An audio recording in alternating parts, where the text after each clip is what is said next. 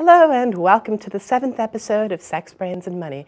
I'm your host, Nikki Thomas, with my wonderful puppy Bon Bon, who's apparently trying to drink from my water glass. Anyways, today is October 26, 2012, and it's been a very busy month for me and for Bon Bon.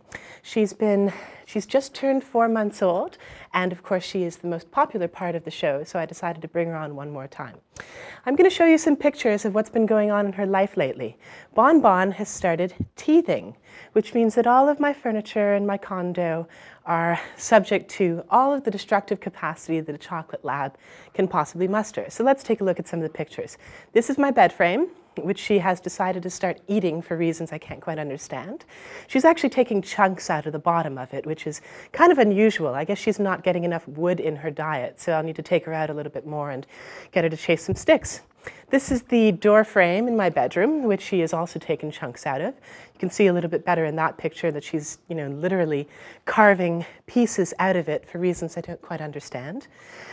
And over here you can see she's getting uh, her daily intake of drywall and been chumping off as much of that as she possibly can. I've been inspecting, uh, you know, when she goes to the bathroom. Here is here are the blinds because she needs, you know, a decent amount of plastic in her diet as well. I don't know why she does it, but she does. And of course, she uh, never ceases to stop going after the drywall in other places. So as you can see, she's a little bit frisky today, and I think I need to take her off the set really, really soon. But uh, before I do that, I'm just going to introduce the guest for today. I'm bringing back Leo Ferraro, who was one of our most popular guests, and he's going to do a segment that we call This is Your Brain on Sex, where he's going to talk about some of the neurological correlates that come with sex and sexuality.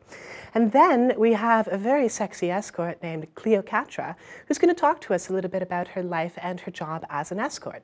And before all that happens, I'm going to do a little bit of a rundown on the Supreme Court of Canada's decision yesterday to hear the case, uh, the sex work case with Bedford et al. You might remember the very first episode when I had Terri-Jean Bedford, who is Canada's most famous dominatrix, on.